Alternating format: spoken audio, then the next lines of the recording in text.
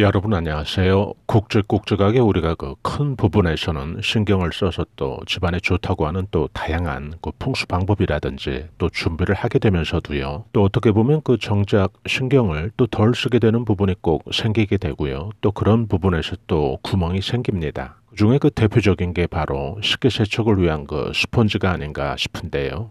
어느 분이 그 운영을 하는 그 인테리어도 아주 잘 해놓고 규모도 아주 제법 있는 가게 몫이 아주 좋은 그런 식당이 있었는데요. 한 가지 고민이 손님이 없어서 이 고민이 됐던 거죠. 그래서 어느 날 이 가게는 그 풍수 처방을 받게 되는데요. 풍수 전문가의 그 조언에 따라서 가게 그 카운터 앞에 그 박스로 스펀지를 그 쌓아놓고요. 손님이 그 나갈 때마다 작게 그 포장을 해서 그 한 개씩 나누어 준 거죠. 그리고 거기에는 그 스펀지의 그 수명은 일주일입니다. 라는 그 문구가 적혀 있었죠. 식당에서 그 위생을 대하는 그 자세가 입소문이 나면서 그 가게 그 손님이 크게 그 늘어납니다. 우리는 그 이 이야기를 통해서 우리가 그 집에서 사용하고 있는 이 식기세척 스폰지에 360종 이상의 그 박테리아가 있을 수 있다는 사실, 그리고 그 세척 스폰지가 변기보다 그 2만 배 더 더럽다는 사실, 그리고 여기에서 우리는 그 집의 돈복이 크게 그 터지기 위해서는 각 에너지의 그 조화와 균형이 먼저 이루어져야 된다는 그 사실을 또 기억을 해야 되는데요. 집의 그 어느 특정 공간에서 그것도 그 식복을 만들어내는 그 주방 공간에서 어느 그 한 물건에 의해서 부정성이 그 집중이 되고 또 몰려 있고 거의 그 무수한 그 박테리아로 그곳이 그 점유되다시피 한 그런 환경이 있다면 이런 그 과한 부정적인 그 에너지는 집의 그 돈복과 건강에 또 치명적인 그 위협이 된다는 사실을 우린 꼭 기억해야 될 것 같습니다. 자주 교체해주는 그 식기세척 스펀지로 인해서 집안의 그 부정적인 에너지가 몰리지 않고 늘 그 항상 쾌적한 상태에서 돈복의 에너지를 또 크게 그 유치시켜 보시기 바랍니다.